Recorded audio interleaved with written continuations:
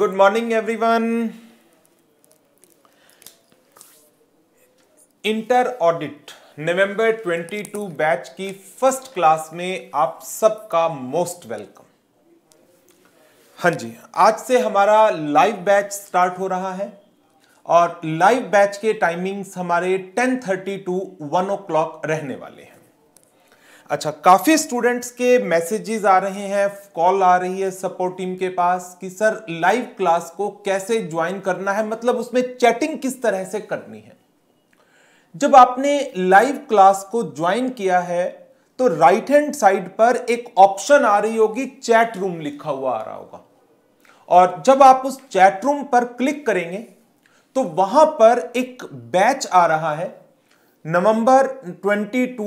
Inter audit batch आप उस batch को सिलेक्ट करेंगे और वहां पर एक बॉक्स अपियर्ड होगा उस बॉक्स के अंदर आप अपना कोई भी डाउट टाइप कर सकते हैं वो मेरे पास आ जाएगा मेरे पास स्क्रीन लगी हुई है आपके डाउट उस स्क्रीन पर आ रहे हैं तो जो भी आपके डाउट होंगे इन रिलेशन टू टॉपिक्स जो हम क्लास में डिस्कस कर रहे होंगे वो मैं साइमल्टेनियसली आपके साथ डिस्कस कर लूंगा राइट right? तो चैट रूम को ज्वाइन कर लीजिएगा और उसके बाद भी कोई प्रॉब्लम आ रही हो तो टेक्निकल टीम से कॉन्टैक्ट नंबर आपके पास है जहां पर आपको गूगल ड्राइव का लिंक भेजा गया था सीरियल की भेजी गई थी उसमें टेक्निकल टीम के नंबर दिए गए हैं उन नंबर पर कॉल करके आपकी जो भी प्रॉब्लम आ रही हो उसको रिजॉल्व करा लीजिए राइट right? अच्छा तो अब बच्चों ने हाँ चैटिंग स्टार्ट कर दी है मैसेज आए हैं अभी तीन चार बच्चों के आए Archana Ayush Devi good morning everyone चलो आज फर्स्ट क्लास है तो टेक्निकल धीरे धीरे रिजॉल्व हो जाएंगे हम्म। हेमा गुड मॉर्निंग बेटा हम्म। चलिए स्टार्ट करें अभी तो चार पांच बच्चे के ही मैसेज आए अरे आने लग गए अब गोपाश गोपेश मित्तल हेलो बेटा हम्म चलो स्टार्ट करते हैं और आई होप सो कि within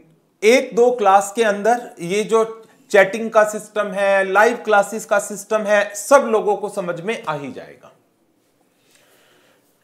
Priya Tandon good morning बेटा अब बच्चे धीरे धीरे करके ज्वाइन कर रहे हैं चलिए फिर स्टार्ट करें सेशन को अच्छा पहले तो जल्दी से यह बताओ ग्रुप वन के पेपर देकर आए हो या बोथ ग्रुप की तैयारी कर रहे हो जी प्रिया गोपेश हेमा अर्चना आयुष देवी हां जी बेटा ग्रुप वन के पेपर देकर आए हो खाली ग्रुप टू की तैयारी कर रहे हो या बोथ ग्रुप की प्रेपरेशन कर रहे हो आज अभी मैं पांच दस मिनट तो आपके साथ ऐसी ही डिस्कशन करने वाला हूं बोथ ग्रुप की वेरी गुड हम्म आयुष का कहना है sir group one complete very good group two पर आ गए हो ठीक है अच्छा चलिए ग्रुप टू की बात करते हैं ग्रुप टू में आपके चार पेपर आते हैं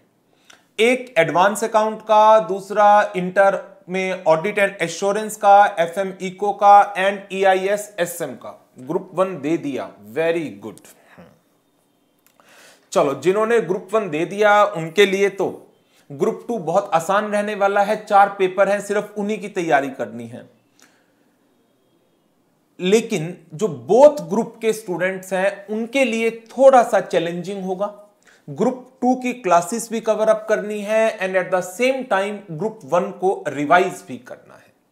तो अपनी क्लासेस को एज पर शेड्यूल अटेंड करते रहिएगा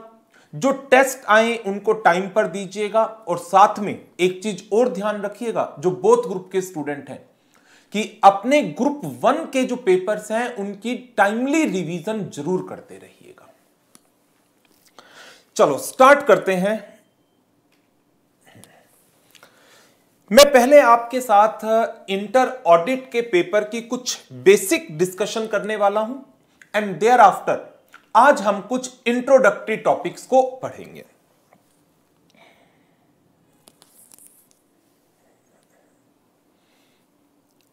हमारा paper number six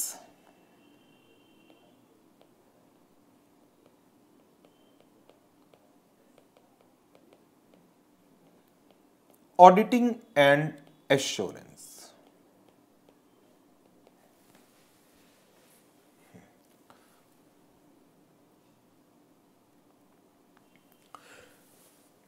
number one क्या सिलेबस है उसकी बात करेंगे हम बुक्स आपको क्या क्या अवेलेबल होंगी उसकी डिस्कशन है हमारी आपको क्लासेस कैसे अवेलेबल होंगी क्या क्लासेस का शेड्यूल रहने वाला है क्लासेस किस मोड पर रन होंगी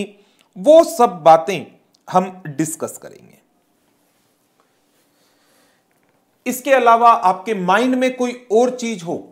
जो आप जानना चाह रहे हो वो आप मुझे मैसेज कर दीजिएगा सबसे पहले तो हम सिलेबस की बात करते हैं आपके सिलेबस में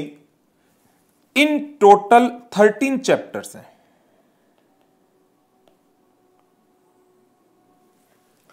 जिनको हम डिवाइड कर सकते हैं तीन पार्ट्स के अंदर अभी आपको कोई नोटिंग नहीं करनी अभी कोई भी नोटिंग नहीं करनी जब मेन टॉपिक को स्टार्ट करेंगे तब आपको नोट करना है नंबर एक पर बात आ जाएगी ऑडिटिंग से रिलेटेड कॉन्सेप्ट्स की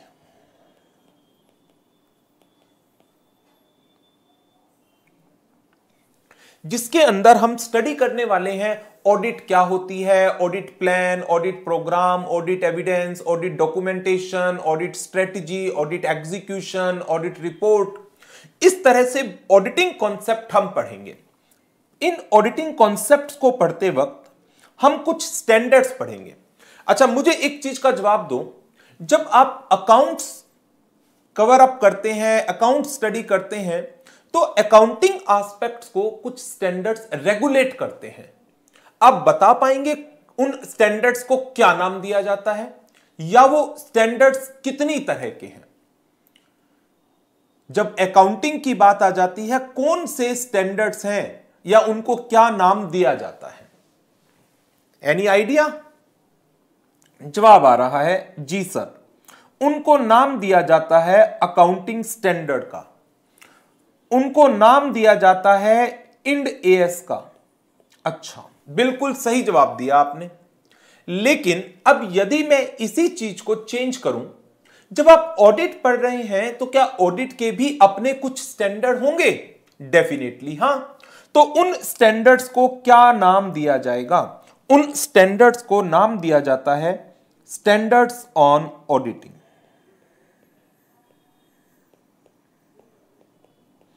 तो आपके सिलेबस का एक पार्ट सिग्निफिकेंट इंपॉर्टेंट पार्ट है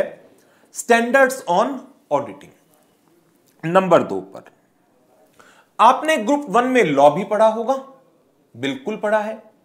और लॉ के अंदर आपने कंपनी लॉ पढ़ा है आपने इंडियन कॉन्ट्रैक्ट एक्ट पढ़ा है नेगोशिएबल इंस्ट्रूमेंट पढ़ा है उसके अलावा दो chapter interpretation of statutes and general clauses act भी पढ़ा कंपनी एक्ट का लास्ट चैप्टर आपका इंटरलॉ के अंदर ऑडिट एंड ऑडिटर्स का होता था जो रेगुलेट करता था ऑडिट से रिलेटेड प्रोविजन तो इन थर्टीन चैप्टर्स में हम कुछ लीगल एस्पेक्ट्स को भी कवर अप करने वाले हैं जिसके अंदर कंपनीज एक्ट 2013 का चैप्टर नंबर 10 हम कवर अप करेंगे फिर बात आएगी कुछ मिसलेनियस टॉपिक्स की जिसके अंदर हम बात करेंगे कैसे फाइनेंशियल स्टेटमेंट्स की जो वेरियस आइटम्स होती हैं लाइक असेट्स हैं लाइबिलिटीज हैं इनकम है एक्सपेंस है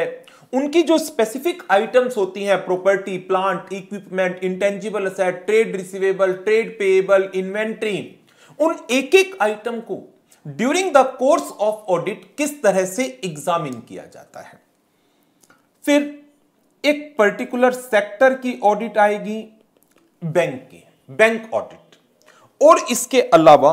बहुत सारी अलग अलग डिफरेंट एंटिटीज की ऑडिट को भी हमें कवर अप करना होगा जिसके अंदर hotel cinema club NGOs government institutions municipalities LLPs cooperative societies partnership firm sole proprietorship charitable institution educational institutions multiplex cinema बहुत सारी ऑर्गेनाइजेशंस हैं सेक्टर वाइज जिनकी ऑडिट हमें कवर अप करनी तो हमारे सिलेबस को हम प्राइमरीली इन तीन कैटेगरीज के अंदर डिवाइड कर रहे हैं और ये तीनों कैटेगरीज के जितने भी टॉपिक्स हैं इंस्टीट्यूट ने इनको 13 चैप्टर्स के अंदर कवर अप किया है मैं आपको एक बार चैप्टर्स दिखाऊं हम्म, ये रहे जो आपका चैप्टर नंबर वन है उसका नाम होगा nature objective and scope of audit chapter number two का नाम होगा audit strategy planning and programming chapter three का नेम है audit documentation and audit evidence chapter four risk assessment and internal control chapter five fraud and auditors responsibilities chapter six audit in automated environment chapter seven audit sampling chapter eight analytical procedure chapter nine audit of items of financial statement chapter 10 audit of an auditor 11 audit report 12 bank audit and chapter 13 audit of different entities ये total 13 chapters हैं जो आपके syllabus का part हैं जिनको हम 54 lectures के अंदर कवर अप करने वाले हैं ये एक कंप्लीट शेड्यूल है चैप्टर वाइज और लेक्चर वाइज कि हम कौन से लेक्चर में कौन से टॉपिक को कवर अप करेंगे और इसी शेड्यूल में हमने मेंशन किया है कौन सी हमारी क्लासेस लाइव होंगी कौन सी क्लासेस रिकॉर्डिंग्स अवेलेबल होंगी और जो रिकॉर्डिंग्स हैं वो आपको किस डेट तक अवेलेबल हो जाएंगी जो हमारे सिलेबस का सबसे इंपॉर्टेंट एरिया है वो है ऑडिटिंग कॉन्सेप्ट्स और उन ऑडिटिंग कॉन्सेप्ट्स के अंदर भी जो फर्स्ट फोर चैप्टर्स हैं वो दी मोस्ट इंपॉर्टेंट चैप्टर है दी मोस्ट इंपॉर्टेंट तो उनको हम लाइव क्लासेस के अंदर कवर अप करने वाले हैं पहले चार चैप्टर जहां पर हमारे 22 लेक्चर्स जाएंगे देयर आफ्टर ये चार चैप्टर बहुत ही छोटे छोटे चैप्टर हैं फ्रॉड का chapter automated environment audit sampling analytical procedure इनकी रिकॉर्डिंग्स आपको आपकी गूगल ड्राइव पर थर्टीएथ ऑफ नवंबर तक अवेलेबल हो जाएगी chapter nine again a very important chapter जिसके अंदर अकाउंटिंग ऑडिट लॉ सबका एक मिक्सचर है यह चैप्टर तो इस चैप्टर को भी मैं लाइव लूंगा chapter number ten audit and auditor ये आपका वो चैप्टर है जो इंटरमीडिएट के लॉ के पेपर के अंदर आपका लास्ट चैप्टर होता था सेक्शन 139 से लेकर सेक्शन 148 जिसके अंदर आप 139 से 148 forty eight along with company audit and auditor rules 2014 को कवर अप करते थे बट ऑडिट के पेपर में हम इससे और आगे बढ़ेंगे एक ऑडिटिंग स्टैंडर्ड भी पढ़ेंगे और एक ऑर्डर है जिसका नाम है कंपनीज ऑडिटर रिपोर्ट ऑर्डर 2020 उसको भी हमें कवर अप करना है तो ये आपको अगेन स्टूडियो रिकॉर्डिंग्स होंगी आपके पास टेंथ ऑफ दिसंबर तक अवेलेबल हो जाएंगी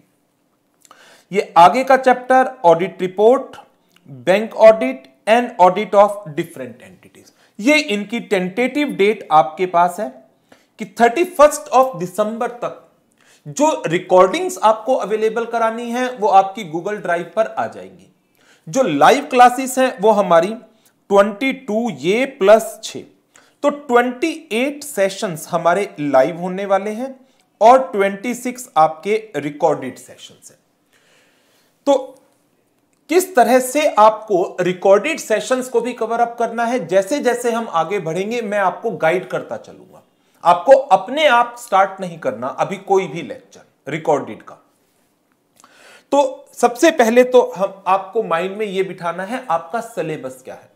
आपके सिलेबस में इन टोटल 13 चैप्टर्स हैं और 13 चैप्टर तीन कैटेगरीज में आते हैं एक ऑडिटिंग कॉन्सेप्ट्स की कैटेगरी है सेकंड लॉ की कैटेगरी है थर्ड मिसलेनियस की कैटेगरी है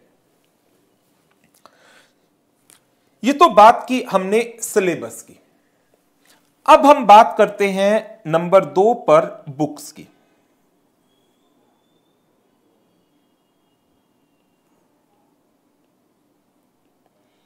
क्या इंटरमीडिएट के ग्रुप वन में आपने इंस्टीट्यूट के स्टडी मटेरियल को यूज किया है आईसीएआई के स्टडी मटेरियल को बताइए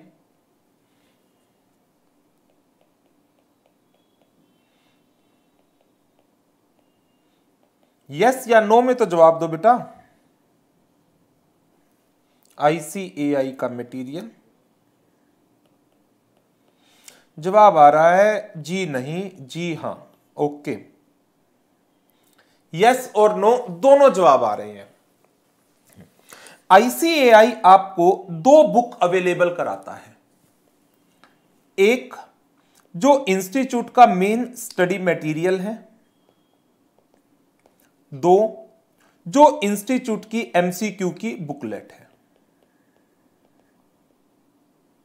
study material plus MCQ booklet हम आपको दो बुक अवेलेबल कराएंगे एक बुक जो हमारी मेन कॉम्प्रिहेंसिव बुक होगी that will not be in the form of class notes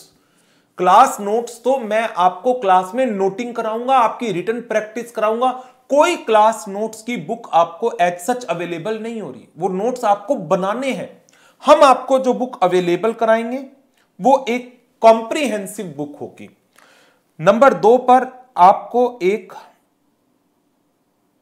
question bank available कराया जाएगा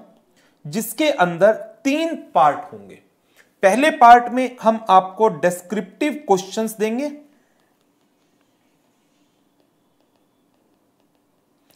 दूसरे पार्ट के अंदर चैप्टर वाइज एमसीक्यू होंगे और तीसरे पार्ट में इंटीग्रेटेड केस स्टडीज होंगी हमारी बुक किस तरीके से डिजाइन है वो मैं आपको दिखा देता हूं जैसे ये कॉम्प्रिहेंसिव बुक का चैप्टर नंबर वन है इसके अंदर जो इंस्टीट्यूट का स्टडी मटेरियल है उसी की सीक्वेंस में टॉपिक को अरेंज किया गया है कोशिश की गई है इंस्टीट्यूट के स्टडी मटेरियल की लैंग्वेज को ही एज सच यूज किया जाए टू दी एक्सटेंट पॉसिबल और जितना उसको सिंपल एंड अंडरस्टैंडेबल फॉर्म में कन्वर्ट किया जा सकता है वो इसके अंदर किया गया है तो जो टॉपिक्स की सीक्वेंस है इंस्टीट्यूट के स्टडी मटेरियल वाली है टॉपिक्स को उसके कंटेंट को पॉइंट वाइज फॉर्म में हमने कवर अप किया है और जैसे ही कोई टॉपिक खत्म होगा तो उसके बाद उसके ऊपर जो इंपॉर्टेंट क्वेश्चन है चाहे वो इंस्टीट्यूट के स्टडी मटेरियल के हैं मॉक टेस्ट पेपर के हैं रिवीजन टेस्ट पेपर के हैं या पास्ट एग्जाम के हैं उनको कवर अप किया गया है हर एक टॉपिक खत्म होने के बाद एंड बुक आपकी बिल्कुल अपडेटेड है नवंबर 22 के एग्जाम तक आज एटीन ऑफ नवंबर है और आपका नवंबर 22 में इंटर ऑडिट का पेपर 13 या फोर्टीन ऑफ नवंबर को हुआ है तीन या चार दिन पहले उस पेपर को भी इस बुक के अंदर कवर अप किया गया है जहां जहां पर जो जो क्वेश्चंस आए हैं जैसे इस चैप्टर की ही बात करें चैप्टर नंबर वन की तो इस चैप्टर के एंड में आपको एक एग्जामिनेशन वेटेज मिलेगी ये रहे। मई 18 से लेकर नवंबर 22 के एग्जाम तक क्या क्या क्वेश्चंस पूछे गए हैं किस किस टॉपिक पर कितने मार्क्स के जैसे चैप्टर वन की बात करें नवंबर 22 में टू मार्क्स का एक ऑब्जेक्टिव क्वेश्चन और फोर मार्क्स का एक सब्जेक्टिव क्वेश्चन और सब्जेक्टिव क्वेश्चन किस टॉपिक पर आया है change in terms of audit engagement के ऊपर आया है जितने ऑब्जेक्टिव क्वेश्चन हैं वो अलोंग विद आंसर लगे हुए हैं जितने भी डेस्क्रिप्टिव क्वेश्चन होंगे उनका डिटेल्ड कंटेंट आपके पास अवेलेबल होता है और उसके बाद उसके क्वेश्चन होते हैं ये नवंबर 22 का क्वेश्चन है तो आपको इंस्टीट्यूट के स्टडी मटेरियल से या आरटीपी से एमटीपी से या पास्ट एग्जाम से कहीं से भी अलग अलग जगह से मटेरियल इकट्ठा करने की जरूरत नहीं पड़ेगी क्वेश्चंस की वो सारे के सारे क्वेश्चन अरेंज्ड हैं टॉपिक वाइज हर एक टॉपिक खत्म होता है तो उसके क्वेश्चन है अब बहुत सारे बच्चों का फिर ये चीज आ जाती है कि सर ये जो क्वेश्चन है हम इन क्वेश्चन आंसर को रिवाइज करना चाहते हैं खाली एग्जाम टाइम में तो क्या उसके लिए आपको ये एक बुक मिलेगी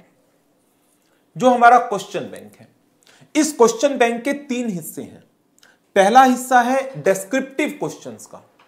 डेस्क्रिप्टिव क्वेश्चंस के अंदर डिस्क्रिप्टिव क्वेश्चंस में वही जो हमारी मेन बुक की क्वेश्चन सीक्वेंस है वही सीक्वेंस आपको मिलेगी और उसके अंदर डिटेल्ड आंसर और जो आंसर्स हैं वो पॉइंट वाइज हैं फॉर इजी लर्निंग आप आंसर्स को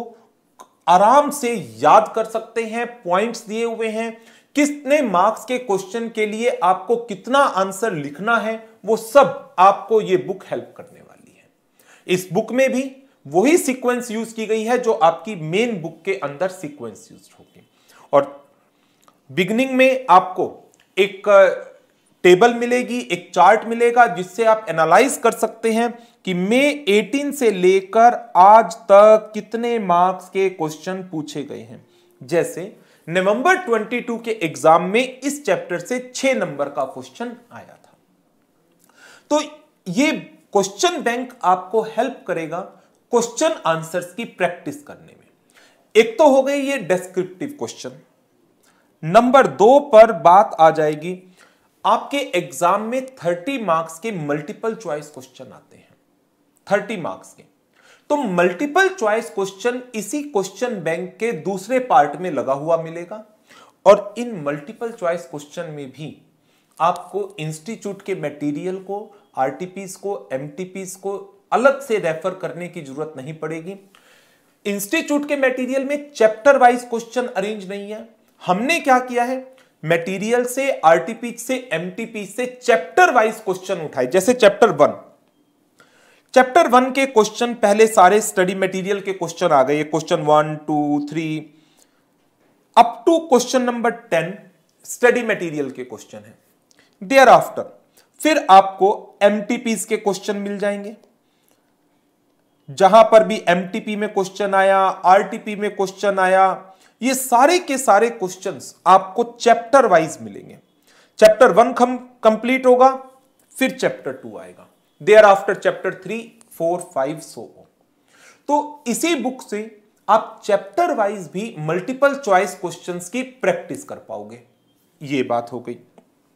अब आपको पता है आपके एग्जाम में इंटीग्रेटेड केस स्टडीज भी आती हैं 30 मार्क्स के एमसीक्यूज में 16 से लेकर 20 मार्क्स की केस स्टडीज भी पूछी जाती हैं तो ये case study around 27 case studies हैं जो इसी क्वेश्चन बैंक के अंदर आपको लगी हुई मिलेंगी और ये केस स्टडी भी सारी जो इंस्टीट्यूट के एम टी के अंदर है वो है सब और इसमें जो एक सबसे मेन बात है इंस्टीट्यूट के मॉक टेस्ट पेपर आरटीपी या पास्ट एग्जाम जिस ईयर में हुआ उस समय पर जो कॉन्सेप्ट एप्लीकेबल था आपको आंसर सिर्फ वही मिलते हैं इंस्टीट्यूट के मटेरियल में बट हमने यहां पर इनको आज के प्रोविजंस की अकॉर्डिंग फुल्ली अपडेट किया है जैसे एक ऑर्डर होता था कंपनीज ऑडिटर रिपोर्ट ऑर्डर 2016 वो चेंज हो गया अब नया ऑर्डर आ गया companies auditor report order 2020 but क्या 2019 के मॉक टेस्ट पेपर में या रिवीजन टेस्ट पेपर में इंस्टीट्यूट ने चेंज किया होगा कारो 2020 की अकॉर्डिंग नहीं किया तो आपको वो पुराना मटेरियल रेफर करने की रिक्वायरमेंट नहीं आएगी आप इस मटेरियल पर रिलाई कर सकते हैं हमने इसको पूरी तरह से अपडेट करने की कोशिश की है और रेफरेंस के लिए कि ये क्वेश्चन कहां से उठाया गया है वो लिखा भी है कि ये क्वेश्चन एमटीपी का है या आरटीपी का है तो अकॉर्डिंगली आप क्रॉस चेक करना चाहे कहीं पर कोई डाउट आए तो आप क्रॉस चेक भी क्रॉस एग्जामिन भी कर सके फॉर योर रेफरेंस अटेम्प्ट भी दिया गया तो इस तरह से हमारे पास से आपको जो बुक्स अवेलेबल होंगी ये दो बुक्स अवेलेबल होंगी एक कॉम्प्रिहेंसिव बुक और दूसरी आपको क्वेश्चन बैंक मिलेगा जिसके अंदर तीन पार्ट होंगे descriptive question multiple choice question and integrated case studies का नाउ अब आगे बात करते हैं सर ये जो क्लास का मटेरियल है ये मिलेगा कब यही तो सबसे बड़ा क्वेश्चन है अब बेटा देखो थर्टीन ऑफ नवंबर को या फोर्टीन नवंबर को आपका एग्जाम हुआ था इंटर ऑडिट का आज है एटीन ऑफ नवंबर हमने अपनी तरफ से एट द अर्लीस्ट नवंबर 22 के पेपर को भी इनकॉर्पोरेट किया है और बुक को प्रिंटिंग के लिए भेजा है अभी बुक की प्रूफ रीडिंग चल रही है कि कहीं पर कोई ग्रामेटिकल मिस्टेक या स्पेलिंग मिस्टेक ना हो अलाइनमेंट प्रॉपर है या नहीं जैसे ही उसकी प्रूफ रीडिंग होगी बुक्स प्रिंटिंग में चली जाएंगी और प्रिंटिंग में भी लगभग तीन चार दिन तो लगेंगे और उसके बाद एक दिन डिस्पैच का लगेगा तो मान कर चलिए बुक आपके पास ट्वेंटी फिफ्थ या ट्वेंटी सिक्स ऑफ नवंबर तक डिस्पैच हो पाएंगे मैं मानकर चलता हूं आप कंफर्टेबल होंगे इससे क्योंकि आपको अपडेटेड बुक्स एज सच मिल रही हैं हम जल्दी बुक दे देते बुक देने को तो मैं आपको अक्टूबर में ही प्रिंट करा देता हूं लेकिन अक्टूबर के अंदर बुक प्रिंट होती तो उसके अंदर मोक टेस्ट पेपर आरटीपी या फिर जो नवंबर 22 का एग्जाम है वो इनकॉर्पोरेट नहीं हो पाते तो आपको एक कॉम्प्रिहेंसिव मटेरियल अवेलेबल हो इसीलिए बुक में थोड़ा सा डिले है और डिले इसी कारण से है कि 13 नवंबर को तो पेपर हुआ है उसके बाद 10-12 दिन तो लगेंगे ही प्रिंटिंग में प्रूफ रीडिंग में डिस्पैच में लेकिन तब तक के लिए मैं आपको चैप्टर वन के नोट्स अवेलेबल करवा दूंगा आपकी गूगल ड्राइव पर ही ताकि आपकी क्लासेस एज सच चलती रहे इज इट ओके हां जी गोपेश आयुष प्रिया हेमा बताओ बेटा is it okay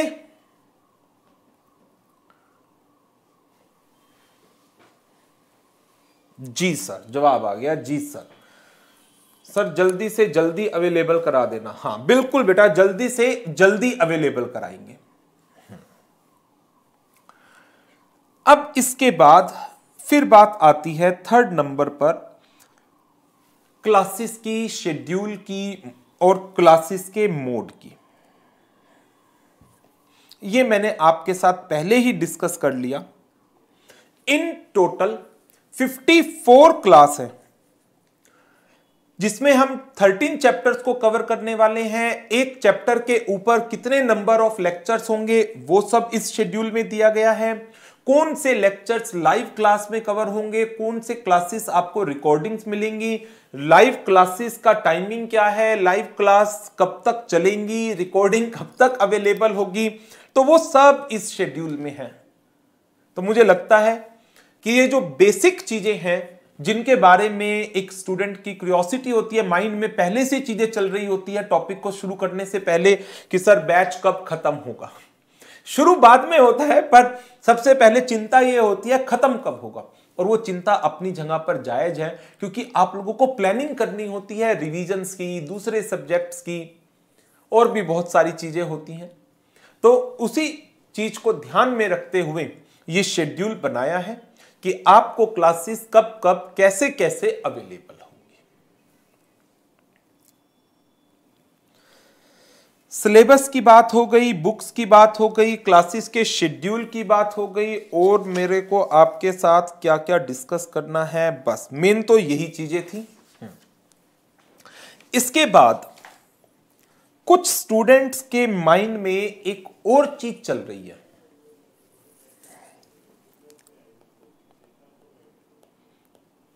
May 23 and November 23 attempt इस टाइम पर स्टूडेंट्स ये सोच रहे हैं कि सर हमारा मे 23 में अटेम्प्ट है but at the same time कुछ स्टूडेंट्स हैं जो नवंबर 23 को भी शायद से प्लान करके चल रहे होंगे जिन स्टूडेंट्स का मे 23 में अटेम्प्ट है उनके लिए ये बैच पूरी तरह से रेलिवेंट है इसके अलावा उनको कुछ भी और नहीं करना हाँ जहां तक बात है नवंबर 23 की कुछ चीजें सुनने में आ रही हैं कि इंस्टीट्यूट न्यू स्कीम को एट द अर्लीस्ट इंप्लीमेंट करने की तैयारी में है और नवंबर 23 में शायद से न्यू सिलेबस इफेक्टिव हो सकता है शायद से और यदि ऐसा होता है तो क्या ऑप्शन मिलेगी पुराने स्टूडेंट्स को कि वो पुराने सिलेबस की अकॉर्डिंग एग्जाम दें या कंपल्सरली उनको न्यू सिलेबस में कन्वर्ट करना पड़ेगा ऐसी अभी कोई भी क्लैरिटी नहीं है बट जो इंफॉर्मेशन बाहर निकल करके आ रही है उसके हिसाब से ये बातें हैं कि स्टूडेंट को न्यू सिलेबस की अकॉर्डिंग ही एग्जाम देने पड़ेंगे तो जो स्टूडेंट नवंबर 23 के लिए भी प्लान कर रहे हैं मैं उनको एक चीज एश्योर कर सकता हूं कि जो सिलेबस इंटर ऑडिट का होगा उसके अंदर जो भी चेंजेस इंस्टीट्यूट करेगा जहां जहां पर वो चेंज आएगा उन चेंजेस की ट्रांजिशन क्लासेस हम आपको आपकी गूगल ड्राइव के ऊपर एज सच अवेलेबल कराएंगे तो इसमें यदि आप अभी अपनी प्रेपरेशन को स्टार्ट करना चाहते हैं कर सकते हैं जो भी चेंजेस इंस्टीट्यूट सिलेबस के अंदर लेकर के आएगा उन टॉपिक्स का मटेरियल हम आपको इसी गूगल ड्राइव के लिंक पर जैसे ही वो चीजें अनाउंस होंगी फॉर्मली अनाउंस होंगी तो वो आपको अवेलेबल करवा दी जाएगी तो ये थी हमारी कुछ बेसिक बातें सिलेबस को लेकर बुक्स को लेकर शेड्यूल को लेकर एंड मई 23 नवंबर 23 के अटेम्प्ट के कंफ्यूजन को लेकर तो अब क्या हम आगे बढ़ सकते हैं यदि आप इजाजत दें तो जी आपका मैसेज नहीं आया बड़ी देर से मेरे पास कोई गोपेश आयुष प्रिया हेमा जो बच्चे ज्वाइंट हैं वो तो आज मैसेज करो बाकी बच्चों का कुछ टेक्निकल चल रहा है अभी हो जाएगा वो भी रिजॉल्व जी कंटिन्यू करें मैं आपके मैसेज का वेट कर रहा हूं जब आपका मैसेज आएगा तो हम आगे बढ़ेंगे अब हम्म। जी सर जी सर ठीक है चलिए फिर ओके गो अहेड का मैसेज आ गया चलते हैं फिर आगे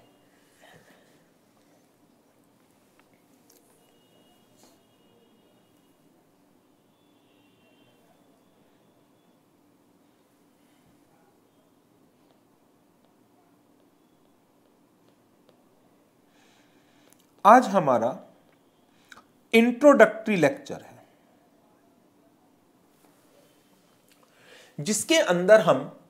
ऑडिट से रिलेटेड कुछ टॉपिक्स को डिस्कस कर रहे हैं एज सच कोई चैप्टर की डिस्कशन नहीं है जो चैप्टर्स के अंदर कॉन्सेप्ट यूज होने वाले हैं हम उनको डिस्कस करने जा रहे हैं जनरल डिस्कशन है सारी किसी तरह की कोई बुक की रिक्वायरमेंट नहीं है आपको सिर्फ इन कॉन्सेप्ट को समझना है सबसे पहले हम बात करते हैं ऑडिटिंग होती क्या है मीनिंग ऑफ टर्म ऑडिटिंग यहां से आपको नोटिंग करनी है अब क्लास नोट्स आपको क्लास के अंदर ही प्रिपेयर करने हैं ये नोटिंग आपको हेल्प करेगी रिटर्न प्रैक्टिस में आपके एग्जाम रिटर्न है डिस्क्रिप्टिव पेपर्स आते हैं तो आप ये नोटिंग करेंगे तो आपकी रिटर्न प्रैक्टिस होती चली जाएगी ऑडिटिंग का मतलब क्या है कैसे हम इस वर्ड को डिफाइन कर सकते हैं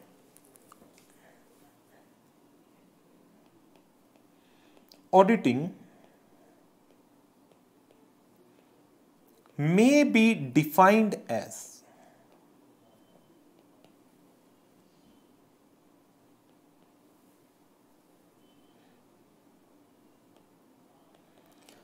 systematic and independent examination किसका of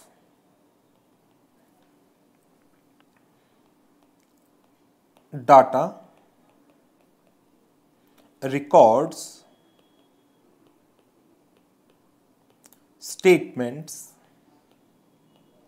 operations and performance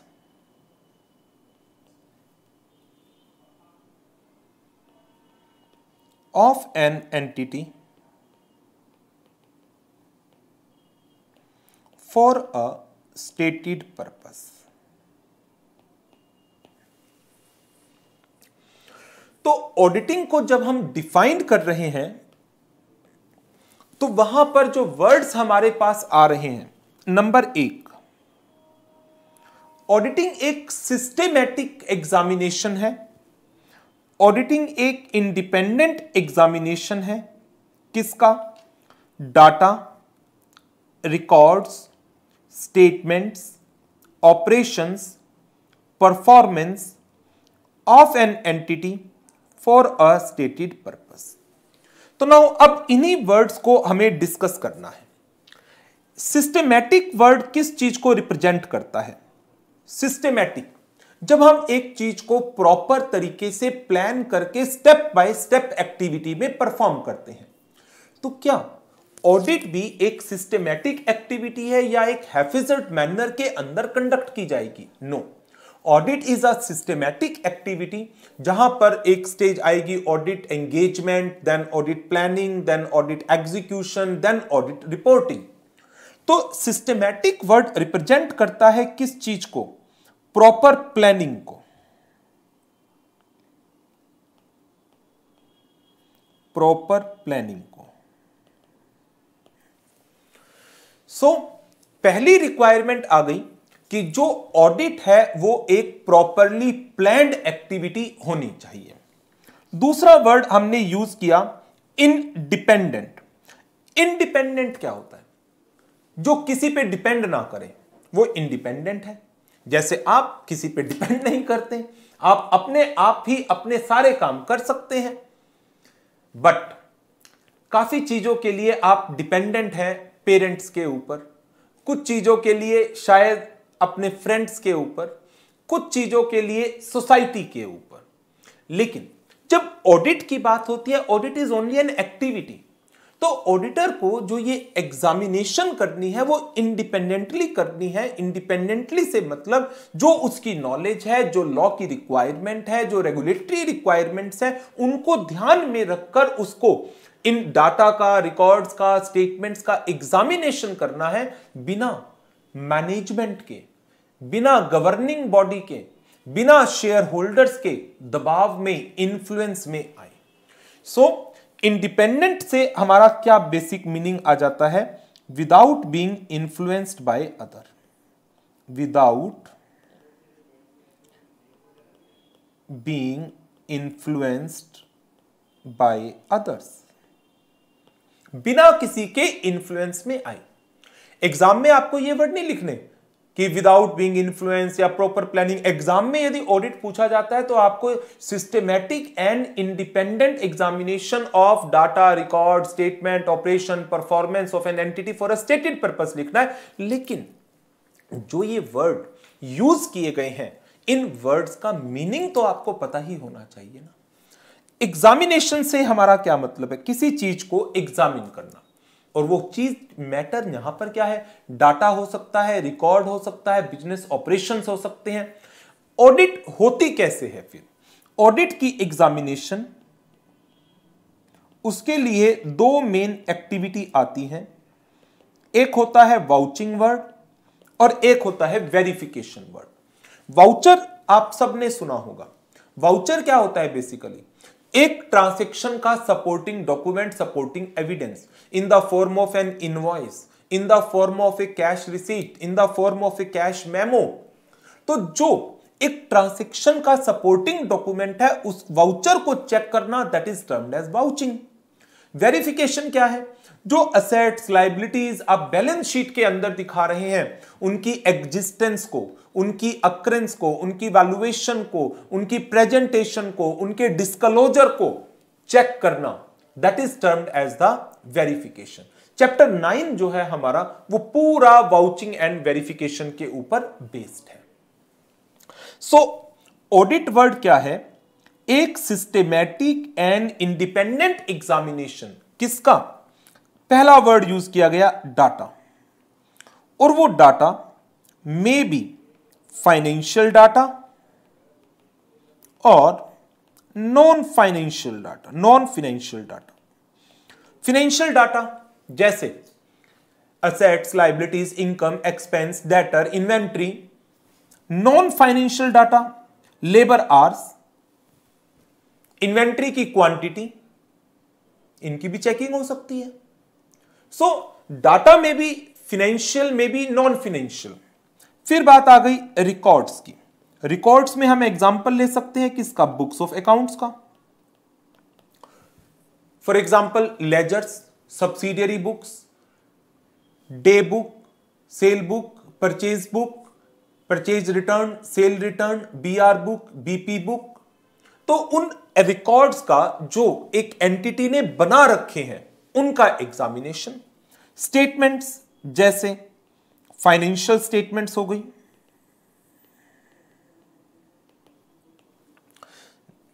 एक वर्ड है बुक्स ऑफ अकाउंट और एक वर्ड है स्टेटमेंट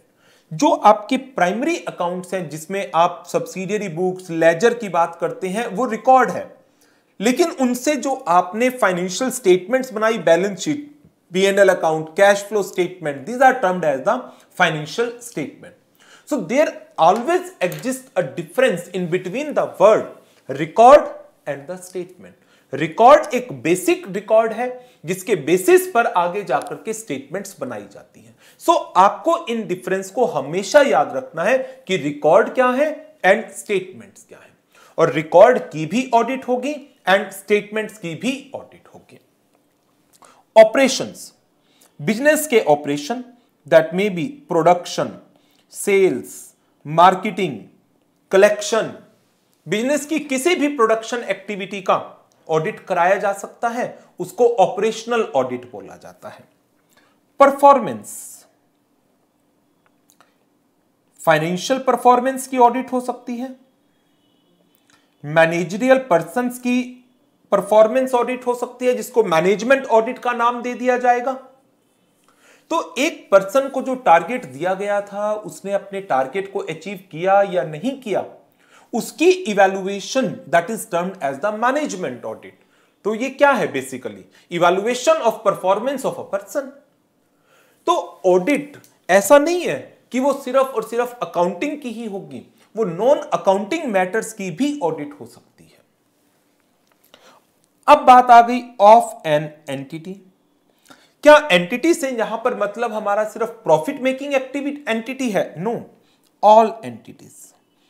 चाहे वो प्रॉफिट मेकिंग है या वो नॉन प्रॉफिट मेकिंग है वो कॉरपोरेट एंटिटीज हैं या फिर वो नॉन कॉरपोरेट एंटिटीज हैं किसी भी तरह की एंटिटीज है सारी एंटिटीज को हम कवर अप करके चलेंगे किसी भी एंटिटी की ऑडिट हो सकती है अब बात आ जाती है पर्पस की किस पर्पस के लिए ऑडिट को कराया जाएगा डाटा कोई भी डाटा या फिनेंशियल स्टेटमेंट आप एग्जामिन करा रहे हैं किस लिए उस डाटा की उस रिकॉर्ड की उस स्टेटमेंट की फेयरनेस को जानने के लिए उसकी रिलायबिलिटी को इंश्योर करने के लिए तो उसके ऊपर एक ओपिनियन एक्सप्रेस करता है ऑडिटर तो पर्पस क्या है टू एक्सप्रेस एन ओपिनियन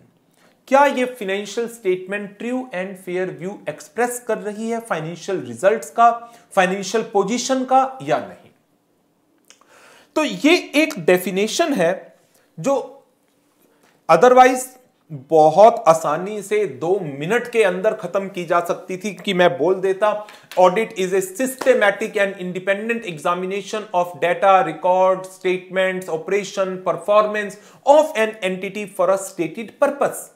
लेकिन जो की वर्ड्स यूज किए गए हैं उन की वर्ड्स को आपको ध्यान में रखना है एक एक की वर्ड का मीनिंग आपको पता होना चाहिए यदि इसी तरह से आप एक एक वर्ड को स्टडी करके चलेंगे तो ये सब्जेक्ट टेक्निकल तो है ही ये हमारा हमारे कोर्स का या हमारे प्रोफेशन का कोर एरिया है जब भी आप किसी से बात करेंगे कि चार्टर्ड अकाउंटेंट क्या काम करता है सीधा सा जवाब आएगा ऑडिट करता है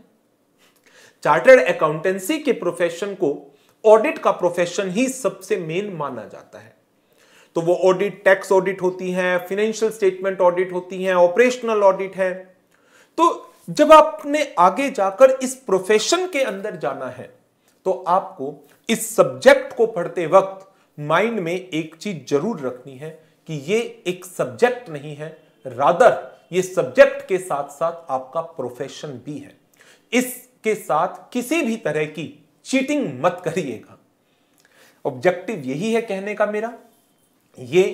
आपका प्रोफेशन बनना है और जब मैं बात करता हूं चीटिंग की सब्जेक्ट के साथ चीटिंग मत करिएगा तो वो यही है कि जैसे आप दूसरे सब्जेक्ट के ऊपर ड्यू टाइम देते हैं इस सब्जेक्ट को भी ड्यू टाइम दीजिएगा सब्जेक्ट टेक्निकल है हाँ यदि आप इसको ग्रेजुएशन लेवल पर बीकॉम लेवल पर पढ़ें वहां पर ये टेक्निकल नहीं है वहां पर ये बड़ी आसानी से रट्टाफिकेशन के साथ हो जाता है लेकिन जब हम इसको सीए कोर्स के अंदर पढ़ते हैं ये प्रोफेशन है सब्जेक्ट के साथ साथ और आपको पूरी लाइफ इस प्रोफेशन को एक्सरसाइज करना है तो अभी इसके साथ कोई चीटिंग मत करिएगा चीटिंग से मतलब है किसी शॉर्ट ट्रिक्स पे आपको नहीं जाना ड्यू टाइम इस सब्जेक्ट को दीजिएगा चीजों को समझने के लिए सो so, एक एक वर्ड जो आ रहे हैं मेरा ऑब्जेक्टिव इन दो इंट्रोडक्टरी लेक्चर्स को लेने का यही है कि जो की वर्ड्स हैं मैं एक बार आपके माइंड में इनको डाल दूं इनका कॉन्सेप्ट आपको क्लियर हो जाए ताकि जब आप चैप्टर वन से अपनी क्लासेस को स्टार्ट करें मेन टॉपिक के ऊपर आए तो आपको वहां पर कोई अजीब फीलिंग ना आए कि ये क्या होता है तो यदि बेसिक चीजें आपको पता होंगी तो ऐसी कोई फीलिंग आपको आगे जाकर के नहीं आने सो so, इस चीज का ध्यान रखिएगा और बार बार इस चीज को माइंड में लेकर आइएगा जहां पर भी आपको लगे अरे ये तो बड़ा टेक्निकल हो रहा है टेक्निकल लैंग्वेज है याद नहीं हो रही समझ नहीं आ रही तो एक चीज सोच लीजिएगा बस ये प्रोफेशन है इसी को जाकर आगे एक्सरसाइज करना है और इसी से पैसे कमाने हैं तो जब पैसे कमाने वाली बात आ जाएगी ना तो वो टेक्निकलिटीज भी आप समझना शुरू कर दोगे स्किप नहीं करोगे तो कहीं पर भी कोई चीजें टेक्निकल आए इग्नोर नहीं करना और टेक्निकल तरीके से ही इस सब्जेक्ट को पढ़ना है और ये मानते हुए ये प्रोफेशन है मैं इसी तरह से पढ़ाऊंगा ठीक क्यों कि आगे जाकर आपको कहीं पर कोई प्रॉब्लम ना आए आप आज की डेट में शॉर्ट ट्रिक से काम करें तो आगे की प्रॉब्लम लेंगे मैं नहीं चाहता आगे प्रॉब्लम ले हां अभी इन पचास बावन लेक्चर के अंदर यदि आपने प्रॉपर टाइम दिया प्रॉपर तरीके से चीजों को समझा देन फिर वो प्रॉब्लम नहीं है रादर एक अपॉर्चुनिटी होगी आपके लिए कि आपने सब्जेक्ट को भी अच्छे से समझ लिया कॉन्सेप्ट को भी अच्छे से समझ लिया टेक्निकल एस्पेक्ट को भी अच्छे से समझ लिया जो ना केवल आपको इंटर ऑडिट के अंदर पेपर में अच्छे नंबर दिलाएगा फाइनल में आपको प्रॉपर तरीके से हेल्प करेगा जब आप फाइनल में जाएंगे तो डेफिनेटली न्यू सिलेबस आ चुका होगा और न्यू सिलेबस के अंदर पूरी तरह से केस स्टडी बेस्ड पेपर होंगे जहां पर ये short tricks short abbreviation cramming वो चीजें काम नहीं आएंगी वहां पर काम आएंगी कॉन्सेप्ट की क्लैरिटी और अंडरस्टैंडिंग और सीए खाली इंटरमीडिएट नहीं होती सीए का मतलब intermediate final plus all trainings हैं जिसके बाद आप जाकर आईसीएआई के मेंबर बनते हैं सो so, यदि आप आईसीएआई की मेंबरशिप की तरफ एक स्टेप लेकर चल रहे हैं आईसीएआई की मेंबरशिप अपने आप में आपके लिए एक ये कह सकते हैं ख्वाब है ड्रीम है और आगे जाकर जो आपकी पूरी लाइफ का पार्ट बनना है तो आज इसके साथ किसी भी तरह की शॉर्ट ट्रिक्स चीटिंग मत करिएगा इस सब्जेक्ट के साथ चलो बाकी आप समझदार हैं मैं आपको सिर्फ गाइड कर सकता हूं लेकिन डिसीजंस आपने लेने हैं क्या आपको 100 में से 40 नंबर चाहिए 50 नंबर चाहिए 80 नंबर चाहिए या आपको नंबर जो आए ठीक है कॉन्सेप्ट की क्लैरिटी चाहिए कॉन्सेप्ट की अंडरस्टैंडिंग चाहिए जो ना केवल आपको फाइनल में हेल्प करेगी और आपकी पूरी लाइफ में हेल्प करेगी डिसीजन आपको लेना है क्रैमिंग पर जाना है या कॉन्सेप्ट की क्लैरिटी पर जाना है शॉर्ट ट्रिक्स पर जाना है या कॉम्प्रिहेंसिव स्टडी करनी है क्योंकि आज की डेट में मोस्ट ऑफ द टाइम्स मेरे पास जो स्टूडेंट्स के या फिर अदर टीचर्स के साथ जो डिस्कशन होती है ना वहां पर स्टूडेंट का नजरिया शायद से बदल गया है और वो नजरिया ये बदला है कि बस सर हमें तो पास होना है लेकिन जब वही चीज आ जाती है ना पास होने वाली तो उसमें एक चीज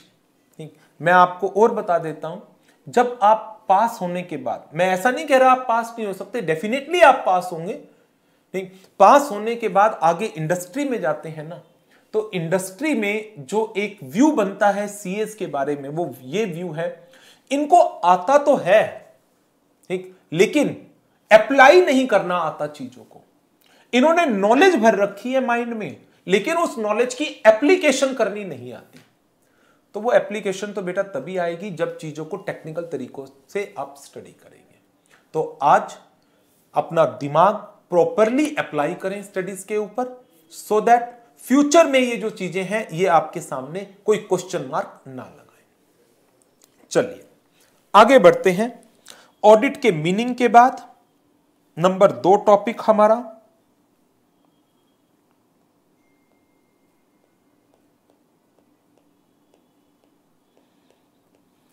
framework of auditing.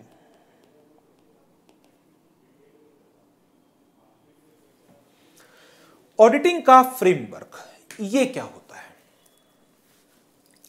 आप जब किसी चीज को पढ़ते हैं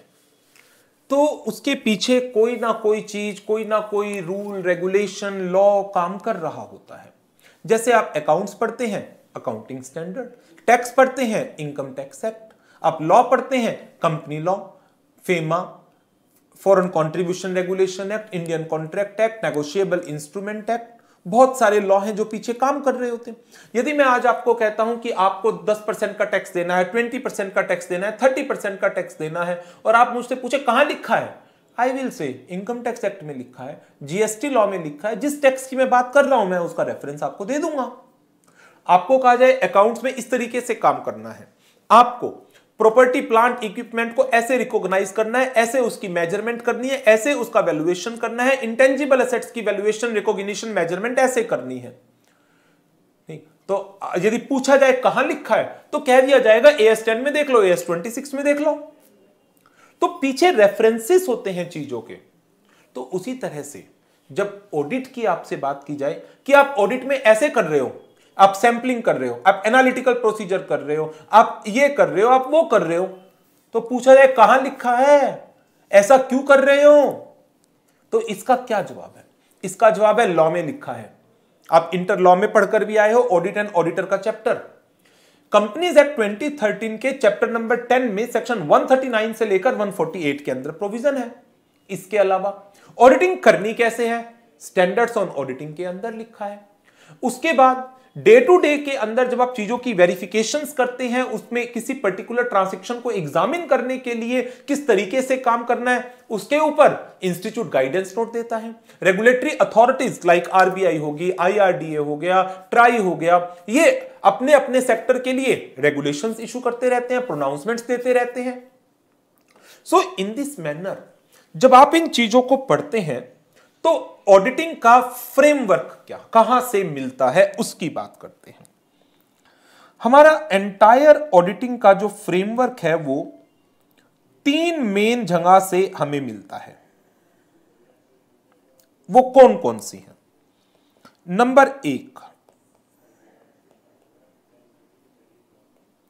लीगल प्रोविजंस नंबर दो B point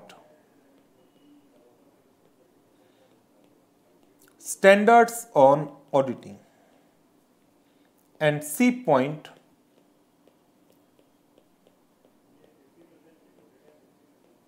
pronouncements pronouncements तो जब हम लीगल प्रोविजंस की बात करते हैं तो लीगल प्रोविजन हमें कहां कहां पर मिल जाते हैं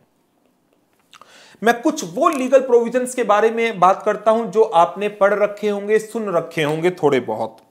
नंबर एक कंपनीज एक्ट 2013 नंबर दो इनकम टैक्स एक्ट 1961 नंबर तीन सीजीएसटी एक्ट 2017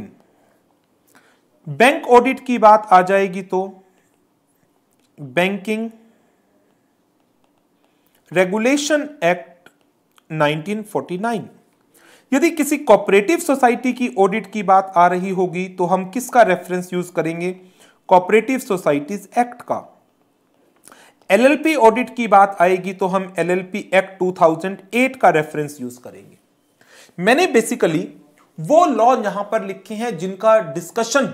हमारे इस सब्जेक्ट में इस पेपर में इंटरमीडिएट लेवल के अंदर आना है हम कंपनी लॉ की बात भी करेंगे इनकम टैक्स लॉ की बात भी करेंगे जीएसटी लॉ की बात भी करेंगे कॉपरेटिव सोसाइटी की भी बात करेंगे एलएलपी की भी करेंगे बैंक्स की भी करेंगे bank audit cooperative society audit LLP audit ये सब हमारे सिलेबस का पार्ट है फिर बात आ जाती है स्टैंडर्ड्स ऑन ऑडिटिंग की स्टैंडर्ड्स ऑन ऑडिटिंग कौन इशू करेगा दो लेवल पर स्टैंडर्ड्स ऑन ऑडिटिंग इशू होते हैं जैसे आप अकाउंटिंग स्टैंडर्ड के बारे में पढ़ते हैं accounting standards are being issued by accounting standard board of institute of chartered accountants of India उसी तरह से auditing and assurance standard board of I ये भी क्या इशू करता है standards on auditing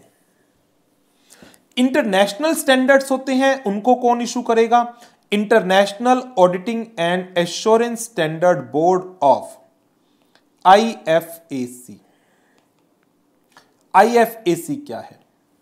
international federation of accountant आज का डे 18th ऑफ नवंबर और आज 18th नवंबर 22 को एक बहुत बड़ा इवेंट भी आईसीएआई ऑर्गेनाइज करने जा रहा है वर्ल्ड कांग्रेस ऑफ अकाउंटेंट्स तो जो all over the world accounting bodies है उनका एक प्रोग्राम आज शुरू होगा बॉम्बे के अंदर मुंबई में जो आईसीएआई ने ऑर्गेनाइज किया है तो आईसीएआई आईएफएसी का एक मेंबर बॉडी है इंटरनेशनल फेडरेशन ऑफ अकाउंटेंट का आज इंस्टीट्यूट की वेबसाइट पर यदि जाओगे तो आपको वर्ड प्रोग्राम की डिटेल मिलेंगी देखें यदि मेरे इस आईपैड पर आईसीएआई की वेबसाइट रन हो रही होगी तो दिखाता हूं आपको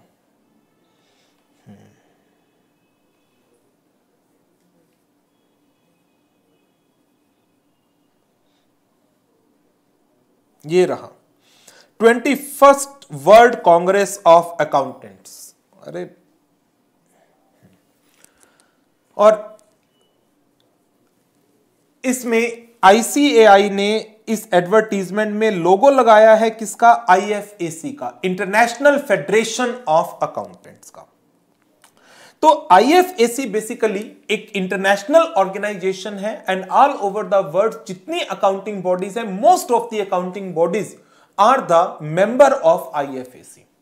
तो इंटरनेशनल लेवल के ऊपर जो स्टैंडर्ड्स इशू किए जाते हैं उनको नाम दिया जाता है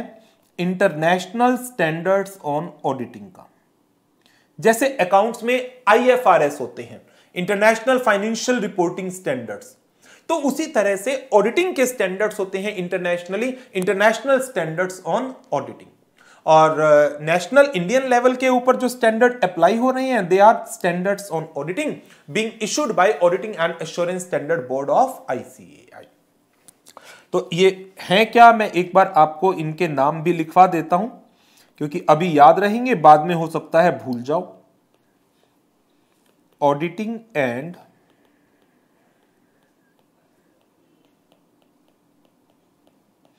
assurance standards board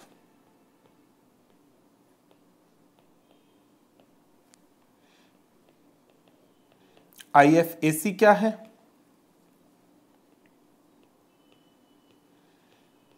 international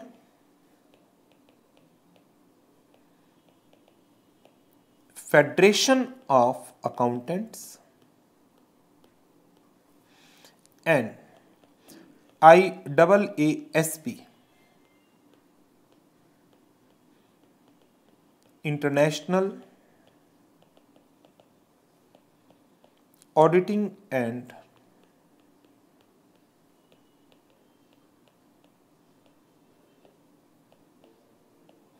assurance standard board तो ये हो गया हमारा दूसरा एस्पेक्ट जहां से हमें ऑडिटिंग के रिलेटेड प्रोविजंस मिलते हैं फिर बात आ जाती है थर्ड वर्ड की that is pronouncements pronouncement basically है क्या जो अपने आप में एक अथॉरिटेटिव रोल प्ले करता है दैट इज जो फॉर्मल अनाउंसमेंट है that needs to be complied by various entities वो प्रोनाउंसमेंट कौन इशू कर सकता है एक तो इस प्रोफेशन को इंडिया में इन जनरल रेगुलेट किया जा रहा है by the ICAI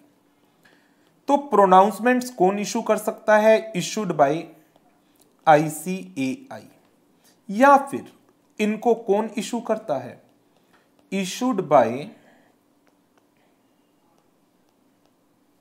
regulatory authorities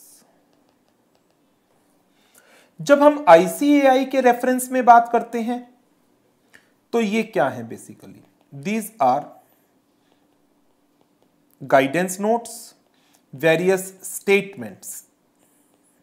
जो आईसीएआई इशू कर देता है रेगुलेटरी अथॉरिटीज भी कुछ प्रोनाउंसमेंट्स इशू करती हैं उनको कौन कौन सी रेगुलेटरी अथॉरिटीज है बैंक के रेफरेंस में आरबीआई इंश्योरेंस कंपनीज के रेफरेंस में IRDAI insurance regulatory development authority of India listed companies के केस में SEBI securities and exchange board of India तो ऑडिटिंग के इस एंटायर प्रोफेशन को कौन रेगुलेट कर रहा है ये सारे एस्पेक्ट्स हैं जो इसकी रेगुलेशन से रिलेटेड है कुछ जगह पर हमें लॉ के प्रोविजंस देखने को मिलेंगे कुछ प्लेसेस पर हमें स्टैंडर्ड्स की बातें मिलेंगी कुछ जगह पर हमें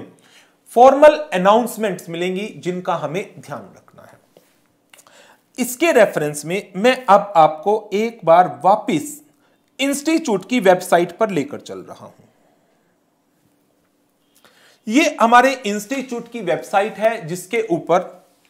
आपको एक लिंक मिलेगा रिसोर्सिस का रिसोर्सिस के लिंक में आप जाएंगे तो वहां पर आपको बहुत सारे चीजें देखने को मिलेंगी एक वर्ड है अकाउंटिंग स्टैंडर्ड जो सबसे पहला वर्ड है फिर आईसीएआई के valuation standard accounting standard for local bodies standards on internal audit list of exposure draft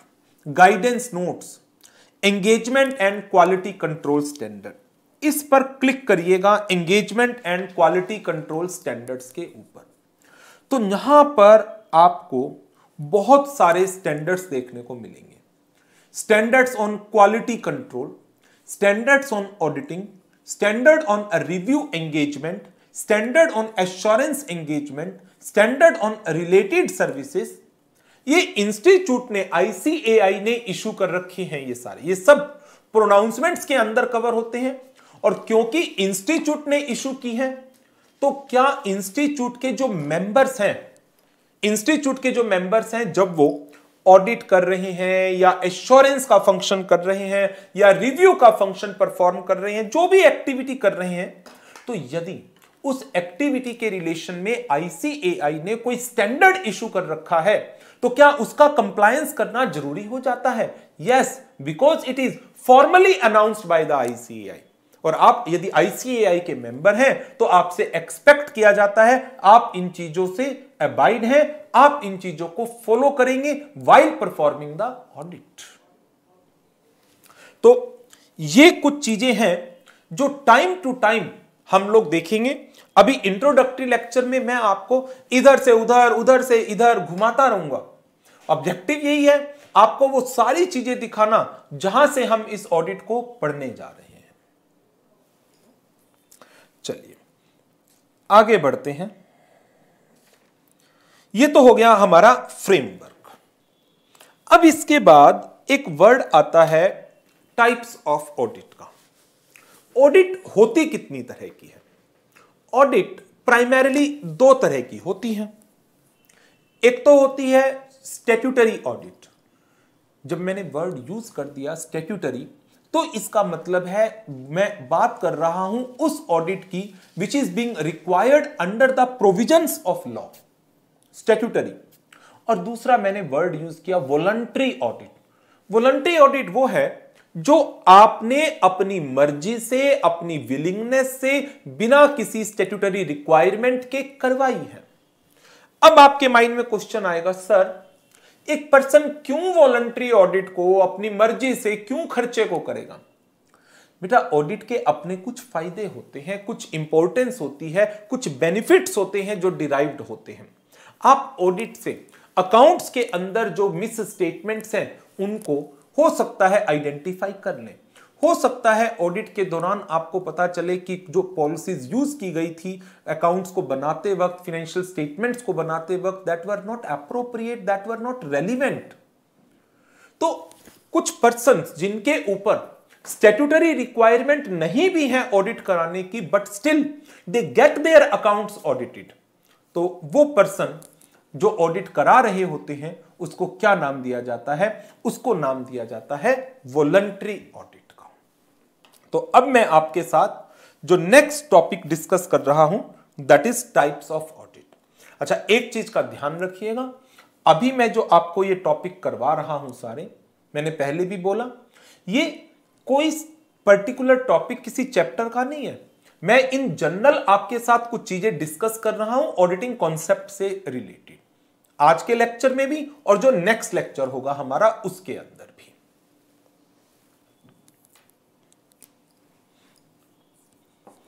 point number three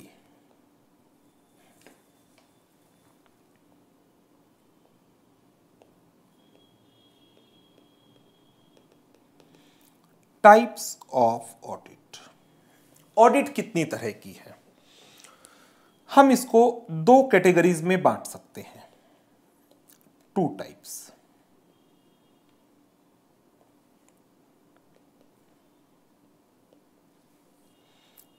number one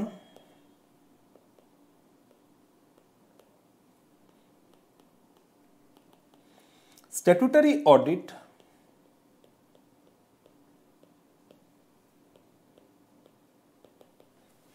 and number two voluntary audit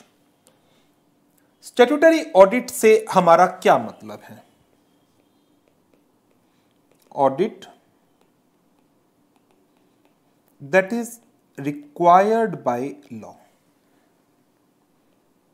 voluntary audit audit not required by any law जब हम बात करते हैं statutory audit की तो क्या इसके कुछ एग्जाम्पल्स हम डिस्कस कर सकते हैं जी हाँ